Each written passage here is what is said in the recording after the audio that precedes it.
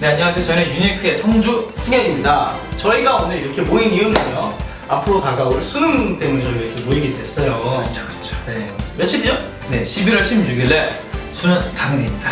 와 진짜 이제 얼마 안 남았어요. 그래도 저희 지금까지 준비하시고 이제 노력하신 저희 전국에 계신 수험생 여러분들 이번에 수능 정말 잘 치르시길 저희도 간절히 기도하고 있겠습니다. 그리고 긴장이 되실 수 있어요. 아침에 스트레칭을 간단히 해주시거나 이제 우황청심환도 드시면 도움이 되실 거예요. 자 지금까지 노력했던 것만큼 보상 받으시면 좋겠습니다. 전국에 계신 수험생 여러분 긴장하지 마시고요. 파이팅 하세요!